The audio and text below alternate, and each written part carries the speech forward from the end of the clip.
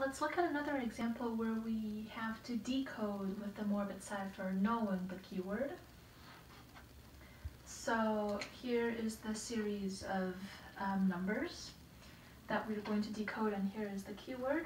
So as usual we're going to start with the keyword. We're going to line up the Morse code parts, the dots and the dashes.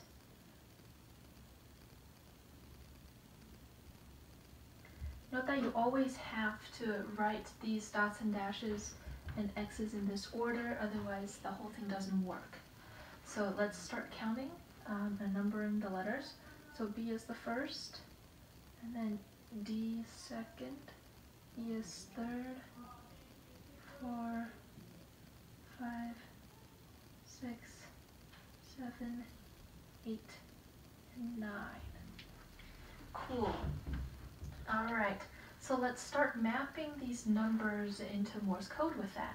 So we see that 5 here is a double dot, 3 is dash dot, 7 x dot, 3 again, 7, 7, 8, double x, 6, 7, 9, six, and nine.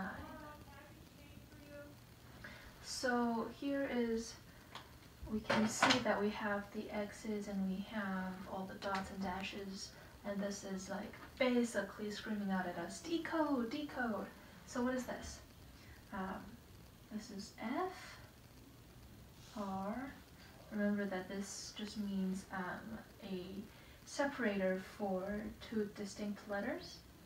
E, this is a space separator, so this is one word free, that makes sense. A, double dot is I, and the little face is air. Free air. Makes sense? And this is how you decode knowing the keyword.